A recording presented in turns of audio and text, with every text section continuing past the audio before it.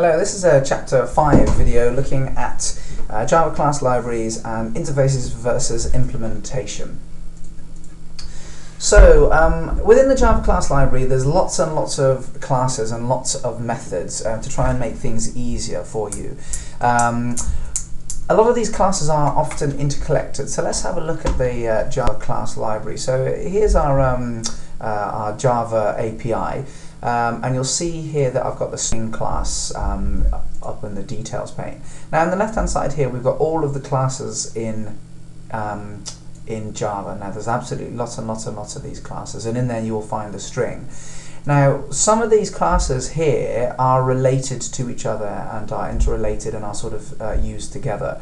Um, so what um, we do in Java in the top left window here um, is we bundle a lot of classes into what are known as packages.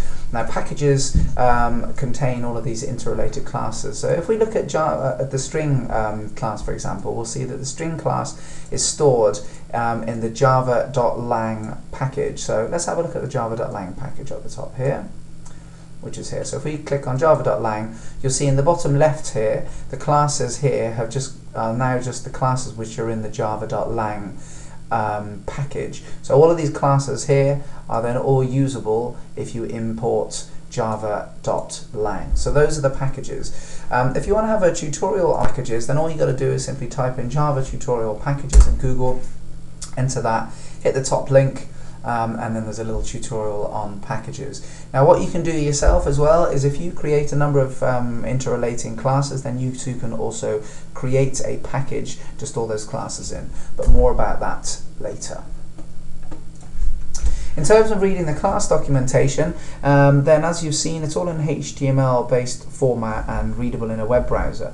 Now later, I'm going to teach you how to use Java Doc, which means you can create your own class library as well, so people and yourself can use your classes and objects in the future and not need to go in and look at the actual code. Um, all of these classes together um, will um, um are used in that API, the Application Programmers Interface. And so, as we've seen, it looks something like that.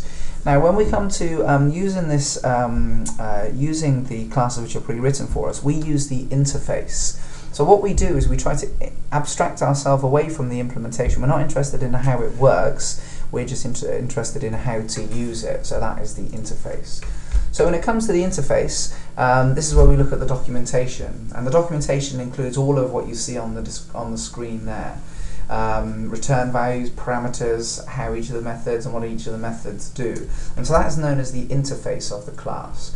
Um, often when architects design code, they'll provide um, the interface um, between each of the classes so that the actual coders um, and the writers of the code will have a sort of a structure to, to adhere to. So that's what the interface is. The implementation is the bit that we're not interested in. This includes things like private fields, private methods, and the actual source code of methods. Um, we're not interested in how that works on the classes within the API. We're just interested into um, into using it and how we can how we can make uh, make use of those classes. As we said before, the classes are organized into these packages, um, and to use these packages, you've got to use the import statement.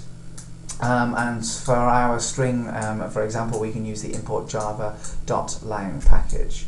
Um, we can, um, if we want to use um, another package, so here we've got the util package, java.util package, we can import just the uh, class itself, so in this case this is just the array list, or we can import all of the um, classes from that um, package.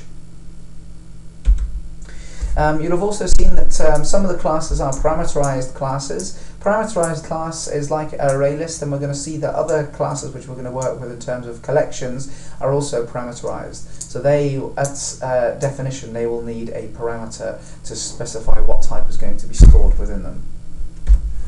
So this short video has given a, a quick look at the extensive um, class library in Java um, and you must be start to get familiar with this library so every time we mention a new class have a look at it in the library. Um, the documentation will tell us the interface of the class, it will not tell us the implementation. Um, and it's, you need to know that some of the classes are parameterized um, and they're also known as generic classes or generic types and we've seen that previously.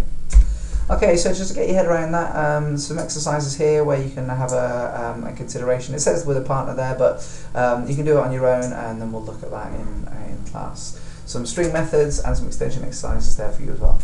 Okay, see you in the next video.